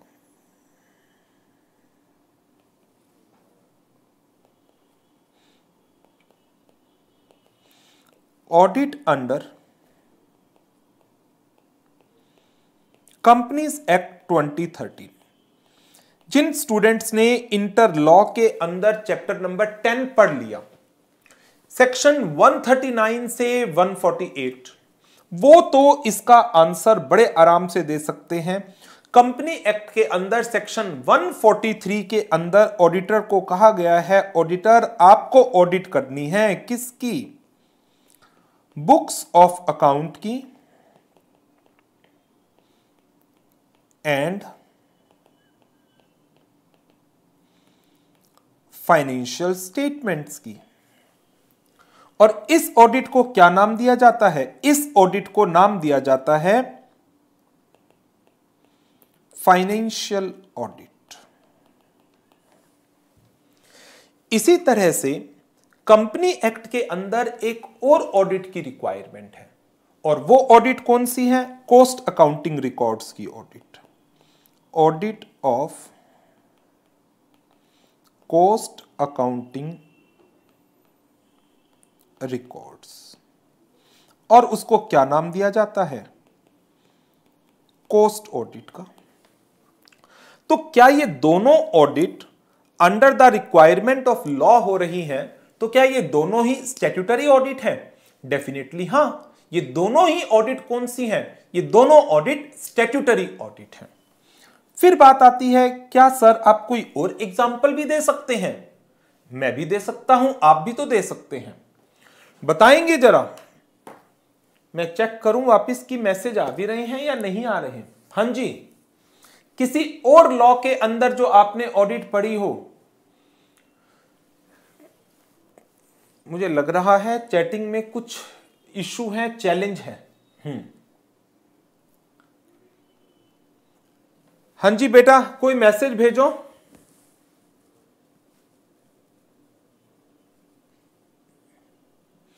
Gopesh Ayush Agarwal Priya Hema hmm I think there is some challenge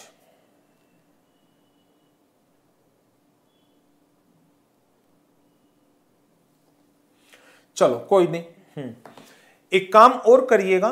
कि काफ़ी स्टूडेंट्स वैसे भी मोस्ट ऑफ द स्टूडेंट्स तो लाइव क्लासेस की जगह गूगल ड्राइव बैकअप पर हैं तो यदि चाहे गूगल ड्राइव पर हैं या लाइव एट होम बैच में हैं या सेंटर पर क्लास कर रहे हो तो यदि कोई भी डाउट क्लास के अंदर ड्यूरिंग द क्लास डिस्कस नहीं भी हो पाता तो आप आफ्टर द क्लास भी मेरे से डाउट ले सकते हो और जो आपको गूगल ड्राइव लिंक की मेल मिली होगी उस मेल के ऊपर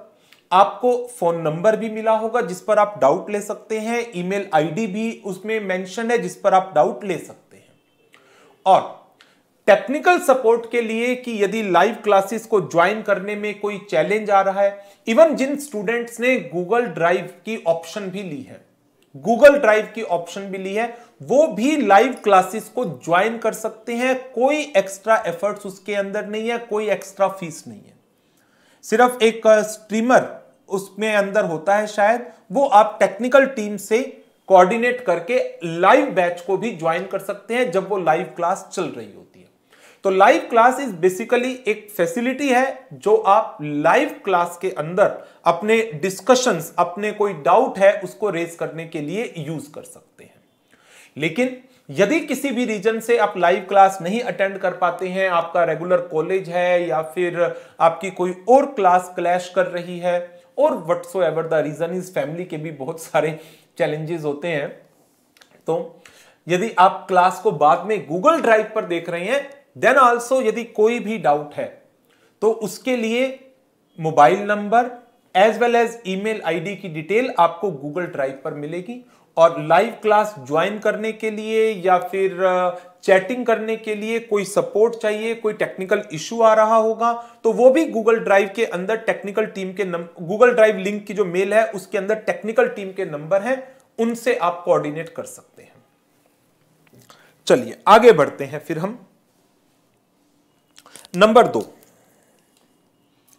दूसरी हमारी ऑडिट आ जाती है अंडर द फिस्कल लॉज या रेवेन्यू लॉज फिस्कल लॉ और रेवेन्यू लॉज और इसके सबसे बेस्ट एग्जाम्पल क्या है audit under section 44 A B of income tax act 1961 earlier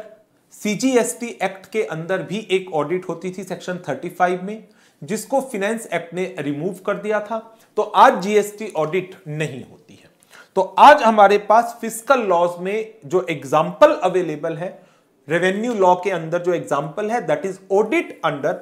section 44 A B of income tax act 1961 का नंबर तीन audit under other laws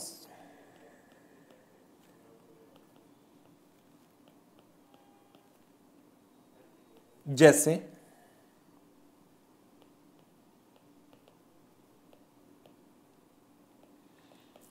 bank audit under the provisions of banking regulation act 1949 audit of LLP under the provisions of LLP Act 2008. Audit of cooperative societies. Under the provisions of Cooperative Societies Act 1912. तो जहां पर भी किसी audit की requirement under the provisions of any law है under the provisions of any law तो हम उस ऑडिट को क्या नाम देंगे हम उसको नाम दे देंगे स्टेट्यूटरी ऑडिट का बट यदि ऑडिट एक पर्सन ने not under the requirement of any law rather अपनी विलिंगनेस के ऊपर कराई है देन उसको वॉलंट्री ऑडिट का नाम दिया जाएगा और इसका बेसिक कॉन्सेप्ट क्या है ऑडिट वो तो ऊपर आई गया नॉट रिक्वायर्ड बाय लॉ इसके एग्जाम्पल क्या हो सकते हैं audit by an entity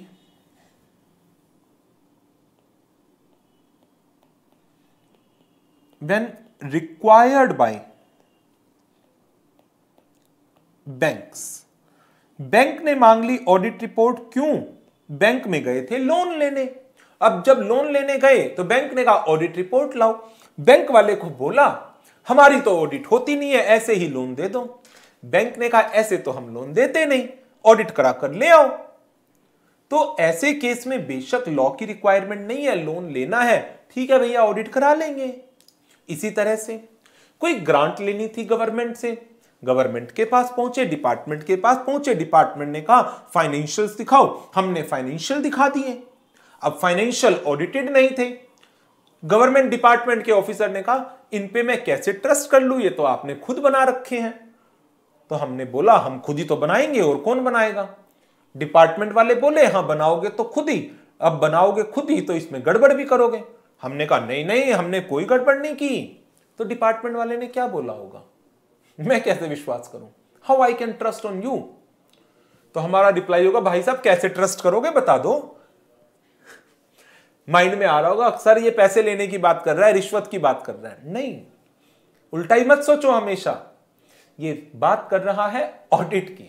ये कह रहा है किसी इंडिपेंडेंट पर्सन से जाकर के चेकिंग करा कर लाओ कि आपने जो ये अकाउंट्स बनाए हैं ये सही है या नहीं रिश्वत तो बाद में देखेंगे पहले फॉर्मेलिटी तो पूरी कर लो तो हम आपकी ऑडिट रिपोर्ट देखना चाहते हैं तो यदि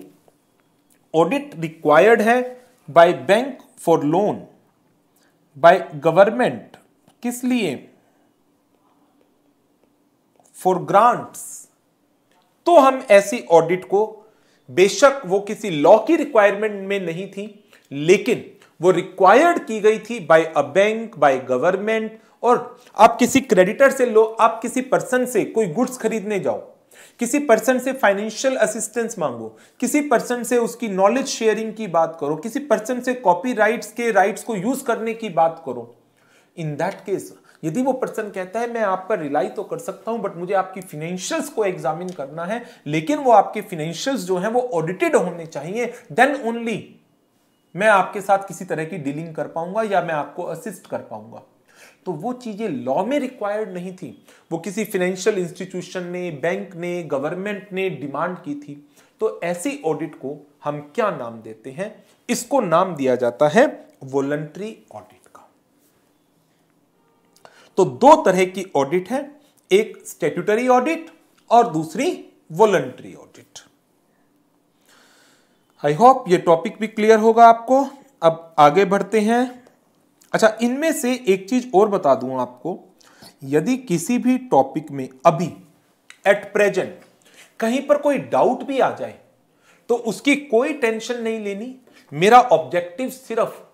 ऑडिट के कुछ की वर्ड्स आपकी नॉलेज में डालना है आपको उन वर्ड्स के बारे में थोड़ा सा ज्ञान देना है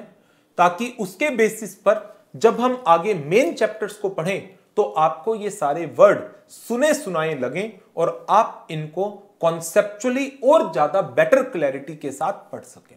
तो कहीं पर कोई चीज आपको ऐसा लगे कि नहीं ये कॉन्सेप्ट अभी पूरी तरह से क्लियर नहीं हुआ या इसकी डिटेल तो हमने की ही नहीं तो उसकी कोई टेंशन नहीं लेनी इनकी डिटेल हम आगे जाकर के जब मेन चैप्टर्स पढ़ेंगे वहां पर आएगी नंबर चार अभी हमने बात की ऑडिटर ऑडिट की अब मैं आपके साथ बात कर रहा हूं ऑडिटर की ऑडिटर कितनी तरह के होते हैं ऑडिटर भी दो तरह के होते हैं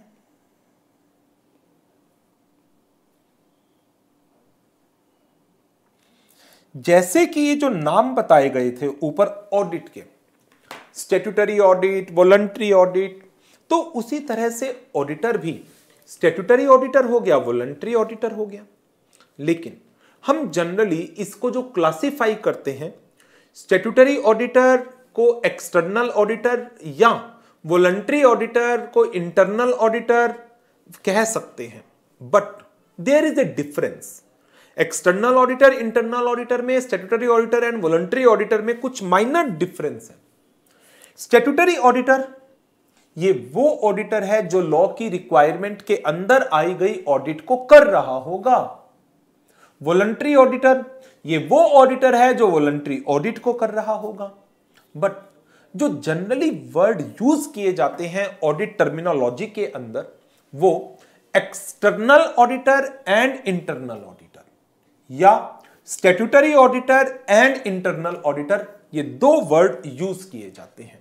मैं पहले आपको इन दोनों के बारे में थोड़ा सा बताता हूं फिर इसके कुछ एग्जाम्पल्स लेंगे हम types of auditor A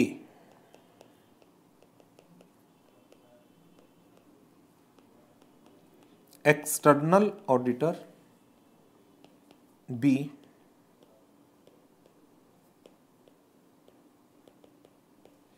internal auditor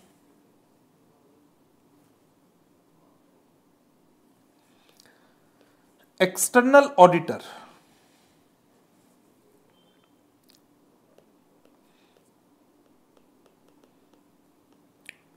Is a professionally qualified person.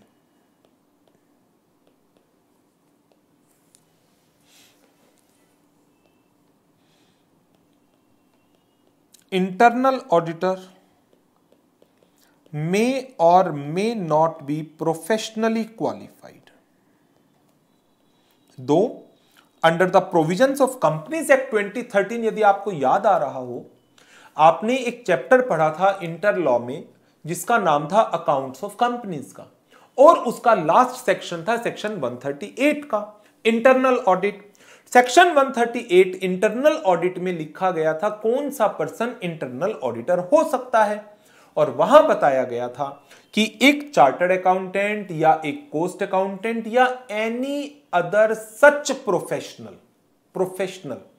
as decided by the board तो कंपनी लॉ में तो सिर्फ और सिर्फ एक प्रोफेशनल ही इंटरनल ऑडिटर हो सकता है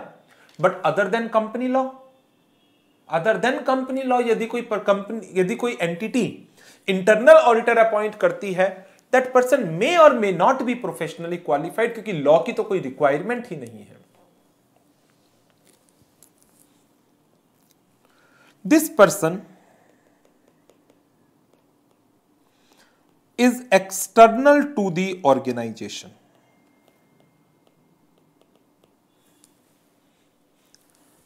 Entity से ऑर्गेनाइजेशन से बाहर का होगा और इसलिए हम इसको also known as the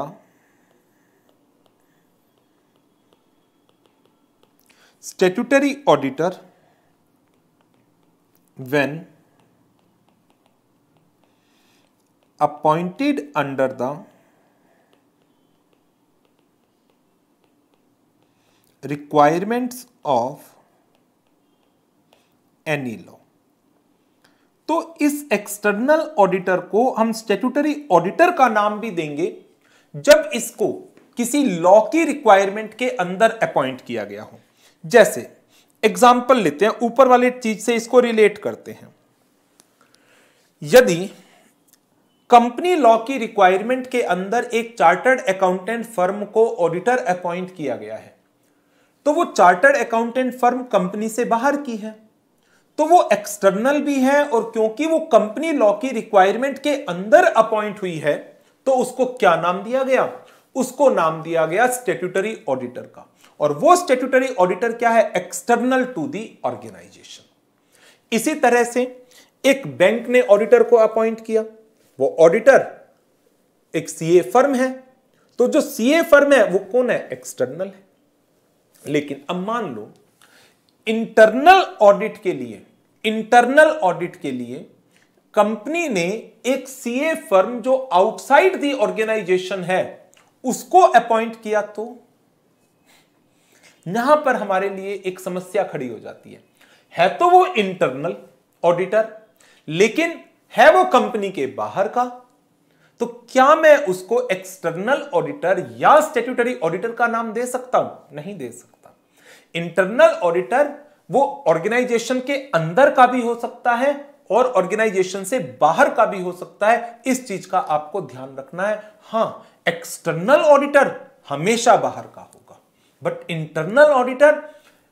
अंदर का भी हो सकता है और बाहर का भी हो सकता है नाम इंटरनल है but may be outside the organization जैसे इसका सबसे अच्छा एग्जाम्पल बहुत सारी कंपनीज में बड़ी बड़ी कंपनीज की इंटरनल ऑडिट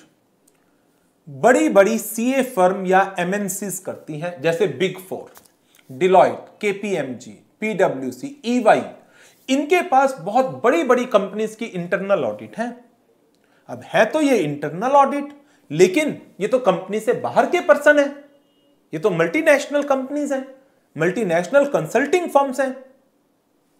तो इंटरनल ऑडिटर जरूरी नहीं है कि वो कंपनी के अंदर का ही हो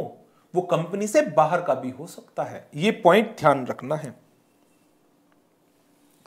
internal auditor may or may not be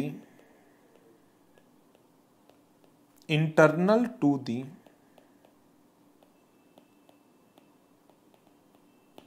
organization तो जरूरी नहीं है कि जो इंटरनल ऑडिटर है वो ऑर्गेनाइजेशन के अंदर का ही कोई व्यक्ति हो वो आउटसाइड दी ऑर्गेनाइजेशन भी हो सकता है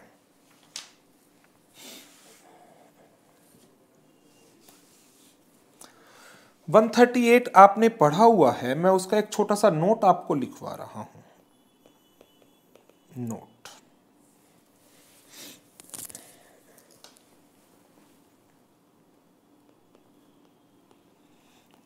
as per requirement of section one thirty eight of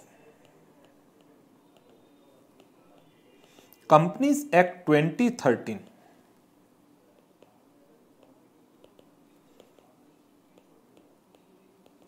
certain companies are required to appoint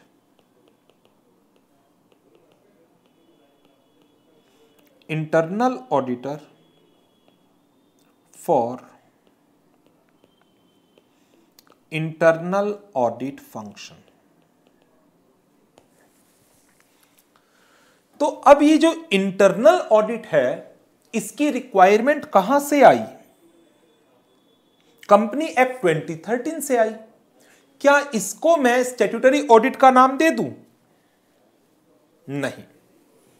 such audit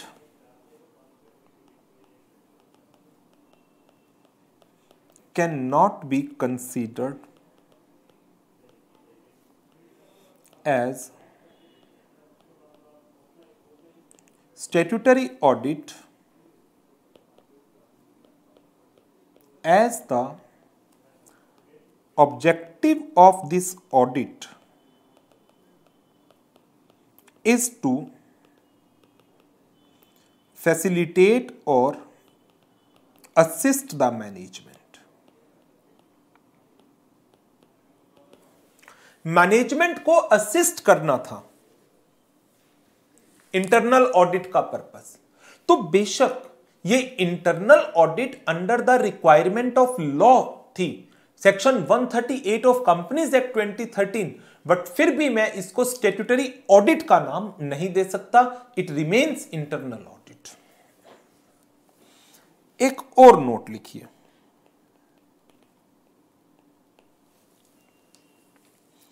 a person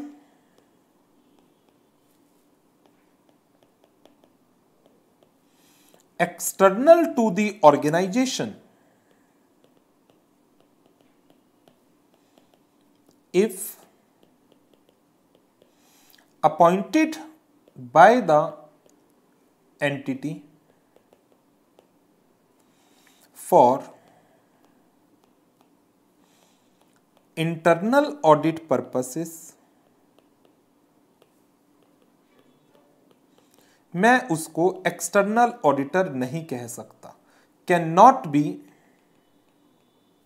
considered as external auditor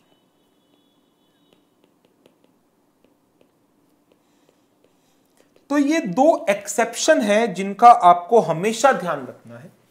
कि कुछ ऑडिट लॉ की रिक्वायरमेंट में होने के बावजूद स्टेट्यूटरी नहीं कहलाई जाएंगी और कुछ ऑडिटर एक्सटर्नल होने के बावजूद एक्सटर्नल नहीं कहलाए जाएंगे मान लो आपकी एक कंपनी है उस कंपनी में इंटरनल ऑडिटर की रिक्वायरमेंट है आपने मुझे अप्रोच किया कि मैं आपकी कंपनी की इंटरनल ऑडिट कर दूं मैंने कहा ठीक है मेरे पास समय है और मुझे ऑडिट की थोड़ी बहुत नॉलेज भी है मैं आपकी ऑडिट कर दूंगा और आपकी और मेरी एक अंडरस्टैंडिंग बन गई मैंने आपके यहां इंटरनल ऑडिट की अपने चार्जेस लिए इंटरनल ऑडिट रिपोर्ट मैं बनाता हूं और आपको देता हूं जिसके बेस पर आप अपनी ऑर्गेनाइजेशन में करेक्टिव एक्शन को टाइम टू टाइम लेते रहते हैं तो मैं आपका एम्प्लॉय नहीं हूं मैं आपके द्वारा बताई गई रिक्वायरमेंट के हिसाब से काम करता हूं but I am a freelancer मैं अपने आपको आपके यहां पर सिर्फ और सिर्फ एक प्रोफेशनल कैपेसिटी में एसोसिएट कर रहा हूं not in capacity as an employ तो मैं आपसे एक्सटर्नल हूं लेकिन मुझे अपॉइंट किया गया था फॉर इंटरनल ऑडिट पर्पस बेशक मैं एक्सटर्नल हूं टू दी ऑर्गेनाइजेशन तो मुझे एक्सटर्नल ऑडिटर कभी नहीं कहा जाएगा हमेशा मैं क्या रहूंगा इंटरनल ऑडिटर ही रहूंगा तो इस तरह से ये दो एक्सेप्शन है कि कुछ ऑडिट लॉ की रिक्वायरमेंट में है बट स्टिल हम उसको स्टेट्यूटरी ऑडिट नहीं कहेंगे और कुछ ऑडिटर एक्सटर्नल हैं ऑर्गेनाइजेशन के बट स्टिल वो एक्सटर्नल नहीं कहलाए जाएंगे they remains as the internal auditor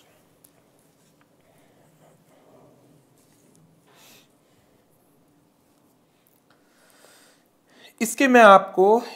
एक दो एग्जाम्पल और लिखवाता हूं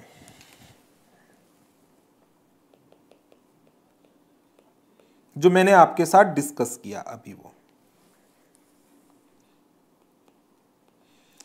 ABC limited appoint Messrs Shyam and associates a C A firm as its internal auditor on a remuneration of rupees 1 lakh.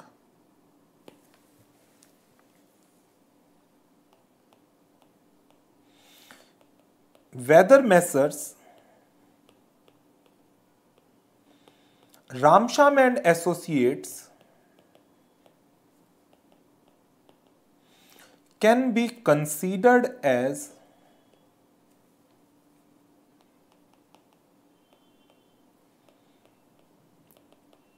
external auditor क्या जवाब आएगा आंसर आएगा no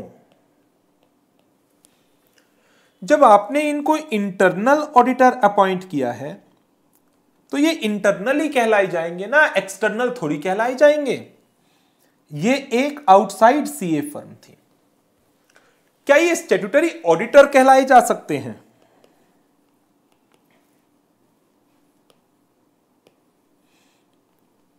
as appointment was made as per requirements of section 138 of Companies Act 2013 whether such engagement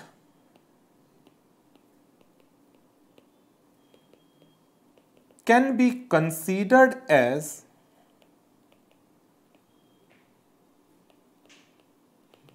statutory audit number एक question मैंने आपसे कहा क्या मैं एक्सटर्नल ऑडिटर मानूं क्योंकि ये ऑर्गेनाइजेशन से बाहर के पर्सन है नंबर दो पर मैंने कहा क्योंकि ये 138 की रिक्वायरमेंट के अंदर है तो क्या मैं इसको स्टेट्यूटरी ऑडिट मान सकता हूं इसका भी सीधा सा जवाब आएगा no sir no big no नहीं मान सकते ये दोनों ही पॉइंट हमारी जो ऊपर दो एक्सेप्शन मैंने आपको लिखवाई थी उसके बेसिस पर थी सो so, ये हमारा टॉपिक था about various types of auditor का तो चार टॉपिक हमने अभी कवर किए नंबर एक ऑडिट का मीनिंग नंबर दो पर हमने बात की फ्रेमवर्क ऑफ ऑडिटिंग की नंबर तीन पर हमने बात की टाइप्स ऑफ ऑडिट की एंड नंबर चार पर हमने बात की टाइप्स ऑफ ऑडिटर की तो अब एक काम करते हैं दस मिनट का एक ब्रेक लेंगे और ब्रेक के बाद इस सेशन को आगे कंटिन्यू करेंगे राइट right?